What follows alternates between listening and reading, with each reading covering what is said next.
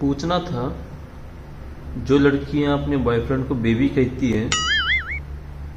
क्या वो लड़कियाँ अपने बॉयफ्रेंड को डायपर भी लेके देती